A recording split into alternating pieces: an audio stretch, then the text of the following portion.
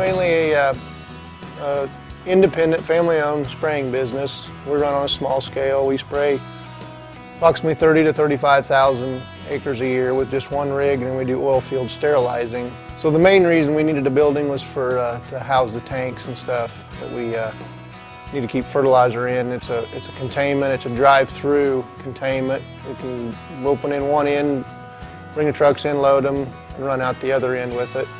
We first heard about this building whenever uh, it was kind of a building from a neighbor of ours. Uh, had put one up. We went out and checked it out. Went online and started looking at pictures and I figured out, and did some price checking and stuff, and figured out it was uh, exactly what we wanted. And uh, when we did order it, they were very helpful in uh, the specific way we wanted to build the building, because it is uh, it's unique in, in several ways, and they customized it to what we wanted to do.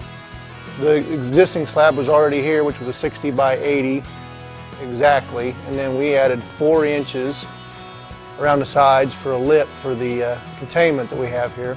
It actually measures 80 and 80 feet, four and three quarters, so it's an odd size. And you know everything that they, we told them at the factory when they sent it out, everything was just right on.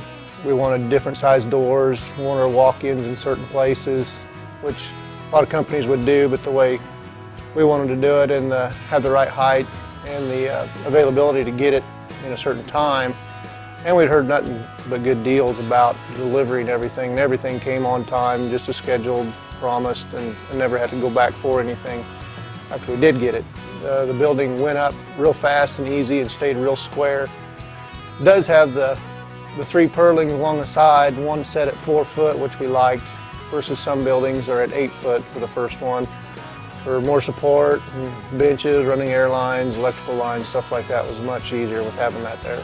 You know, we've had some real windy days with some rain. Um, she's tight, she seals up good, nothing comes in, no complaints whatsoever. We did put a uh, tube heater in it. It's uh, just a 50 foot straight tube heater. It maintains it at 45 to 50 degrees, which we need to keep from freezing. So far, very efficient.